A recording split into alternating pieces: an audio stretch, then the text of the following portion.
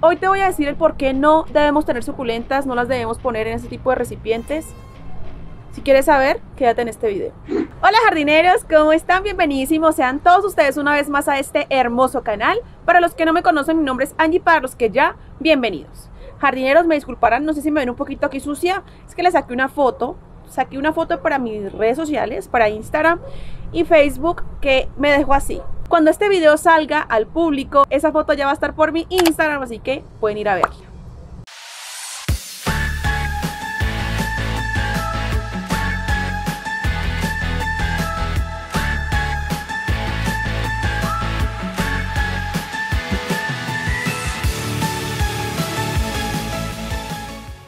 Pues el día de hoy les voy a hablar de un tema muy serio, muy importante. Para mí es súper importante porque en ello, en ese tema, se ve involucrado el bienestar y la salud de las plantas suculentas. Les voy a decir mis razones por las que no se deben plantar las suculentas y les voy a dar ejemplos muy claros y reales que pasan en la vida real.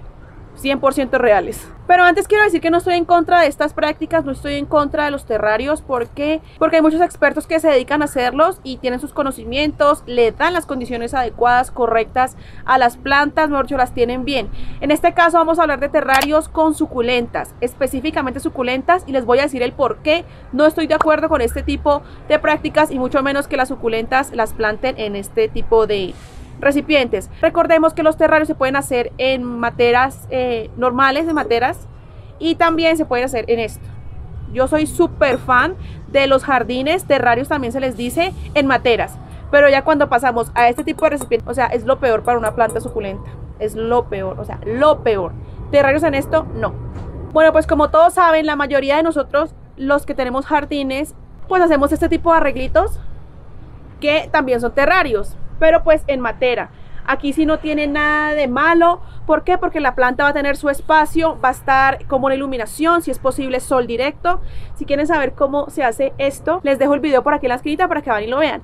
Este es un tipo de terrario que también se hace en cualquier tipo de matera, se le pone decoraciones, se le pone materitas, mejor dicho, todo tipo de planta, siempre y cuando todas tengan los mismos cuidados. Entonces vamos a hablar un poquito de qué son los terrarios y qué qué tipo de terrarios existen. Pero antes de empezar, los invito a que se suscriban, a que activen la campanita de notificaciones para que no se pierdan ni uno de mis videos y a que me sigan por Instagram, me pueden encontrar como jardín.es. Y ahora sí, sin más que decir, comencemos. Bueno, pues los terrarios son espacios pequeños que intentan imitar ecosistemas. Estos terrarios se crean con un propósito. ¿Cuál es su propósito? Crear algún tipo de hábitat para reptiles o para cualquier tipo de planta. Con esto podemos observar ciertos comportamientos, también algunas características y diferentes desarrollos. Esto también se usa para monitoreos. Existen diferentes tipos de terrario, desérticos, bosques y tropicales. Los tropicales son un poco más difíciles de mantener, de cuidar, pero el que se puede, se puede. Debemos tener ciertos requisitos para que estos seres vivos que están dentro de ese terrario vivan los cuales son la ventilación, el tamaño, las plantas adecuadas y los materiales adecuados para su supervivencia. Entonces, todo eso está perfecto hasta cierto punto. Cuando ya nos metemos con este tipo de recipientes y con plantas suculentas, no, ahí sí no es divertido, ahí sí no está bien. A mi parecer, porque les voy a dar todas las razones por las cuales no es correcto tener este tipo de plantas siempre y cuando no le demos los cuidados que ellas realmente necesitan. Jardineros, por favor tengan en cuenta eso. Recuerden que las plantas suculentas necesitan ciertos cuidados, ciertos requerimientos para que ellas puedan crecer bien. Entre ellos está la iluminación, el riego, un buen espacio y el sustrato adecuado para este tipo de plantas. Cuando hablo de la iluminación, este tipo de recipientes al dejarse al sol va a tener un efecto y eso se llama efecto lupa. Esto es vidrio y puede quemar la planta.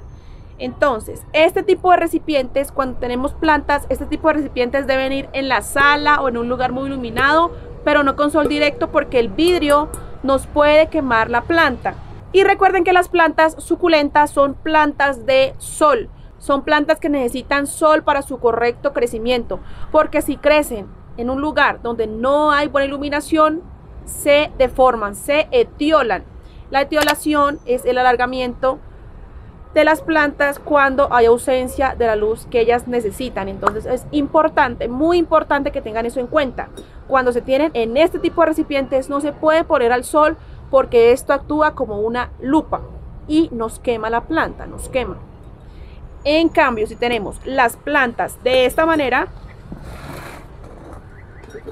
así, pues iba a recibir el sol que necesita porque en una materia común y corriente como las que ellas deben tener para poder vivir. Tengo un caso presente y lo tengo aquí. Estas plantitas llevan conmigo más de seis meses y son unas plantas de unos amigos, bueno, del novio de una amiga que me las trajo. ¿Por qué? Porque el chico compró su terrario con estas planticas. Miren, están en recuperación. Estaban deformadísimas. Si encuentro la foto se las dejo por aquí. Y terribles, terribles de verdad. Pobrecitas, estaban todas deformadas. Ya me tocó decapitar esta, por ejemplo, esta estaba aquí toda alargada. Y ya ahí tiene dos bebés. Estos sedum también. O sea, se les ocurre poner este tipo de plantas que necesitan sol directo para poder crecer correctamente en este tipo de recipientes, eso no está bien. No está bien. Él tenía esta cantidad de plantas, bueno, más pequeñas, en un recipiente como este, pero más pequeñito. De esas que se cuelgan, de esas que tienen como una, sí, como algo para agarrarlo y colgarlo.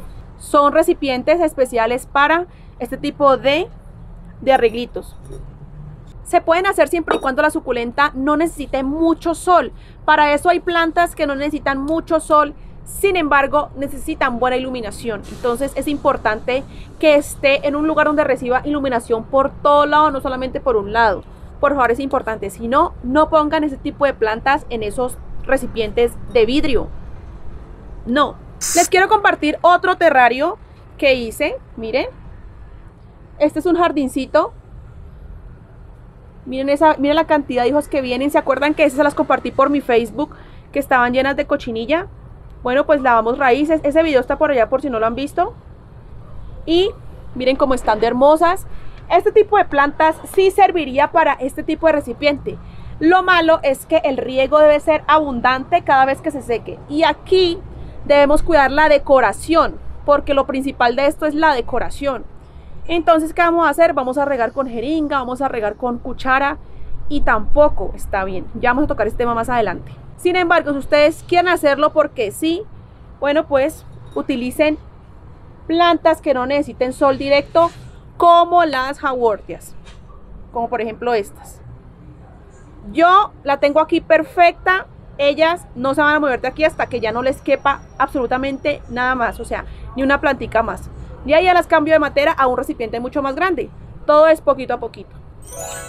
El segundo punto es el riego y es muy importante ya que cuando tenemos terrarios en este tipo de materas, bueno, en, materas en general, podemos regar en abundancia por todo lado, sin problema, sin miedo a que la decoración se vaya a dañar, porque ya todo está bien puesto, mejor dicho, bien decoradito.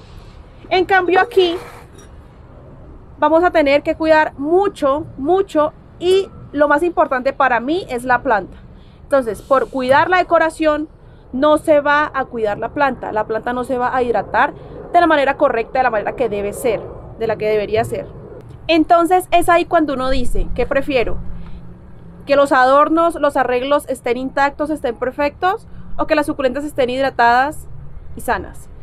¿Por qué? Pues porque las suculentas se hacen del riego, del correcto riego, eso de estar regando poquito es falso, ya que una suculenta se debe regar en abundancia cada vez que se seque el sustrato. Si ustedes riegan, por ejemplo, si ustedes riegan hoy en abundancia y dura un mes de secarse, bueno, cada mes se riega. Si ustedes hoy riegan en abundancia y dura una semana en secarse, entonces a la semana riegan. Y así sucesivamente. Si es un día, si es una semana, si es 15 días, si es un mes, y así. No le tengan miedo al riego y bueno, cuando tenemos este tipo de arreglos, o sea, en este tipo de recipientes, toca regar con una jeringa y, o con una cuchara para que no se dañe la decoración. Entonces, otro punto negativo para este tipo de terrarios. Hay terrarios que son hermosos, divinos, que se riega así con, con spray, con atomizador, pero esos van cerrados. Entonces, dentro de eso se forma un ciclo. Ya es muy diferente a cuando está de esta manera, o sea, abierto. ¿Sí ven? Hay muchas cosas que sí, hay muchas cosas que no. Pero como les digo, en este caso estamos hablando de terrarios con suculentas en este tipo de recipientes. El otro punto es el espacio. Jardineros, el espacio, por ejemplo, como les digo, el novio de mi amiga me trajo las plantas en una matera súper pequeña, en un recipiente súper pequeño. En este momento no lo tengo, si no se los mostraría. Pero lo trajo súper pequeñito y lo que hicimos fue sacar de una de esas pobres plantitas de ahí. Estaban, aparte que estaban alargadísimas. O sea, estaban buscando el sol, pobrecitas. Estaban todas apachurradas, todas estripaditas en ese recipiente tan pequeño. Entonces ya las pasamos aquí y miren cómo van. Ahí van, mejorando día a día. Si van a hacer este tipo de terrarios, ya o sea, les digo la contra, pero pues les puedo buscar la solución. Les digo lo negativo, si ustedes lo van a hacer, les digo la manera en que podría hacerse y sería en un recipiente mucho más amplio, mucho más grande y con buena capita de sustrato para poder regar. Y abajo, pues eso hay tutoriales para hacer este tipo de, de arreglos con una capita de piedra para que no se encharque y no se apiche eso ahí. O sea, porque eso coge mal olor. El caso es que si lo van a hacer, el recipiente debe ser amplio, grande, para que las plantas puedan desarrollarse correctamente. Pero si no, mejor no lo hagan. Último punto, el sustrato. Muchas veces las plantas están plantadas en materitas. Por ejemplo, estas plantas que me trajeron estaban directamente plantadas en la matera, pero hay otras que plantan, que tienen un método que es introducir la matera con la planta y taparlo con arenita de colores. Esa matera queda ahí por muchísimo, muchísimo tiempo y la planta necesita espacio. Bueno, tiene su sustrato, todo bien, y a veces plantan en arena de colores. Eso no se puede hacer porque eso no está aportando absolutamente nada de nutrientes a la pobre planta.